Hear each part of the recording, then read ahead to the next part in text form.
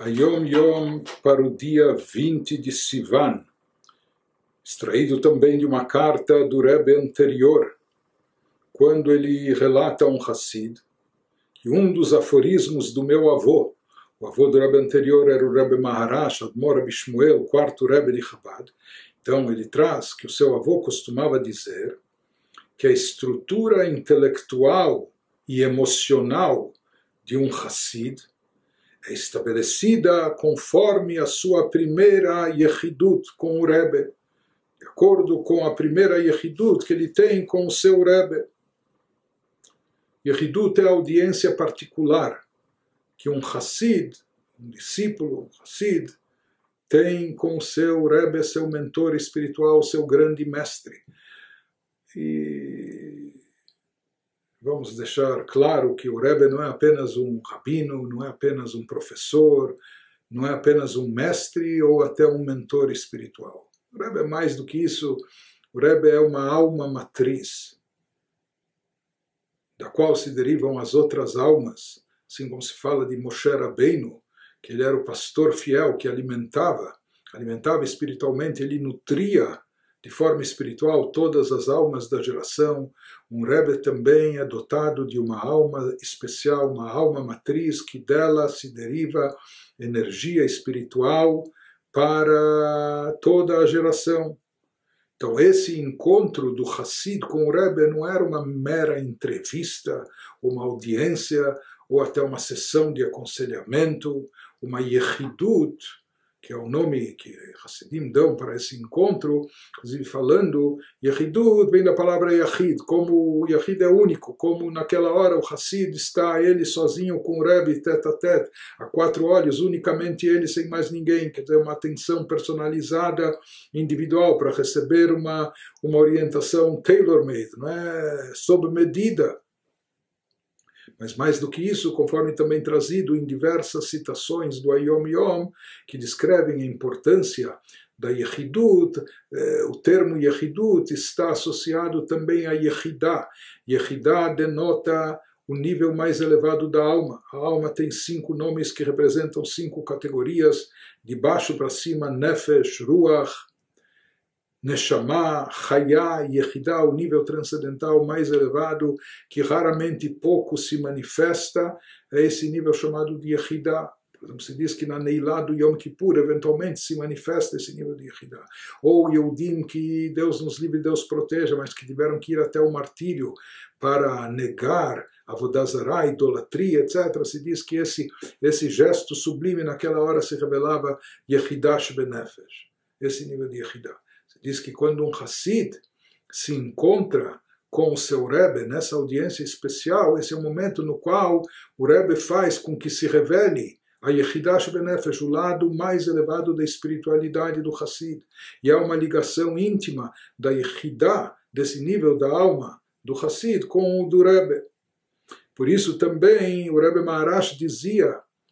que isso é tão impactante, tão importante, a ponto que a estrutura intelectual e emocional que vai, vai influenciar o serviço espiritual do Hassid no futuro, tanto a sua estrutura intelectual daquilo que ele vai entender no estudo da Torá, particularmente da Hassidut, na contemplação de divindade, etc., como a estrutura emocional, o quanto ele vai ter sensibilidade para eh, desenvolver sentimentos de amor a Deus, de reverência a Deus e assim por diante. Então, tanto a estrutura intelectual como emocional de um Hassid é estabelecida de acordo com a primeira Yehidut que ele tem. Nós já vimos também outras citações do Ayom Yom que vários Hassidim consideravam a sua primeira Yehidut, o seu primeiro encontro pessoal com o Rebbe, como o dia do seu nascimento. Vocês dissessem que espiritualmente ele nasceu naquele instante quando a sua alma se encontra com a alma matriz, com a sua fonte, e de lá ela recebe as orientações, etc. Então, essa primeira Yehidut, toda Yehidut é algo sublime e elevado, mas a primeira mais ainda. Se diz se a estrutura intelectual e emocional do Hassid é forjada de acordo com a primeira Yehidut, e o que influencia a primeira Yehidut em si, esse primeiro encontro, a primeira Yehidut é de acordo com a essência do caráter do Hassid o que vai fluir o que vai rolar, entre aspas, nessa primeira Yehidut, o, que o Hassid vai conseguir obter e absorver, o que o Rebbe vai lhe transmitir, isso é de acordo, proporcional à essência do caráter do Hassid. Por isso, em tempos antigos, no Alter Rebbe,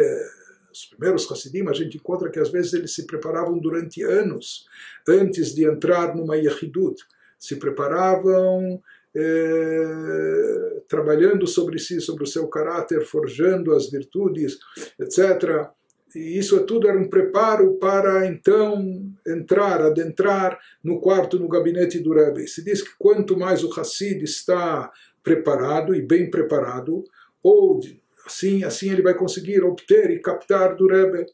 seja, que a primeira Yehidut ela é de acordo com a essência do caráter do Hassid, a quantas anda o seu caráter. E baseado nisso, o Rebbe lhe, lhe prescreve uma sequência de avodá apropriada, então,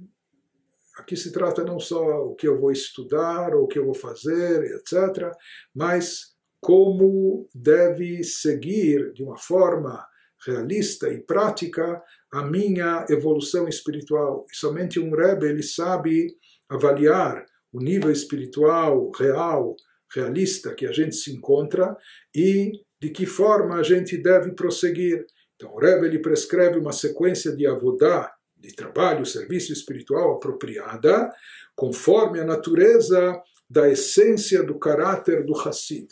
Então, Hidut eh, é algo muito, não só muito sério, mas muito, muito elevado e muito sublime. E eu confesso para vocês que eu creio que talvez uma das coisas mais difíceis de descrever hoje em dia, ou de se imaginar, é o que se vivencia numa Yehidut. Graças a Deus ainda tive o privilégio de estar, e algumas vezes, em Yehidut, por mais que ainda era muito jovem, talvez até nem soubesse apreciar isso devidamente, aproveitar, maximizando e potencializando toda essa energia, mas tive o mérito, o privilégio de estar em Yehidut, em audiência particular com o nosso Rebbe, e algumas vezes, e a verdade é que já há cerca de 40 anos, mesmo ainda em vida, essa Yehidut particular foi suspensa porque já haviam tantos milhares de Hassidim que era impraticável. Era sobre-humano atender individualmente a cada um, então passaram a ver eh,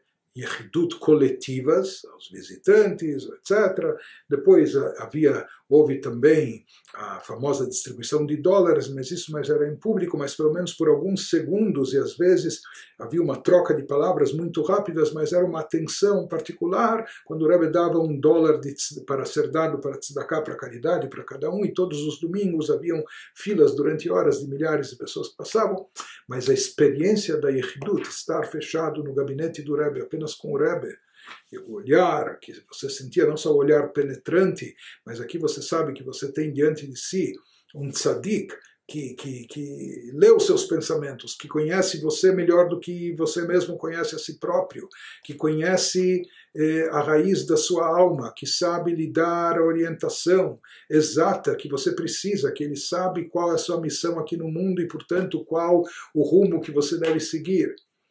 Então, esse, esse privilégio da Yehidut, isso nós encontramos aqui no, no Ayom Yom, descrito em algumas passagens, e como eu digo para vocês, é, ilustrar e descrever na prática essa experiência é algo muito difícil. Somente quando se consegue vivenciar. Os livros místicos dizem que hoje em dia, quando se visita o túmulo do tzadik, etc., com devido preparo, é uma experiência semelhante a de se entrar em Echidut. Mas às vezes, para nós que temos mais dificuldade, menos sensibilidade espiritual tão aguçada e dificuldade de, de desprendimento do plano físico, material e visualizar e captar isso, é algo mais difícil. Quando a gente está, de fato, na sala do Rebbe, diante dele, isso é algo, uma experiência impactante, indescritível, com efeito espiritual não só duradouro, mas eterno.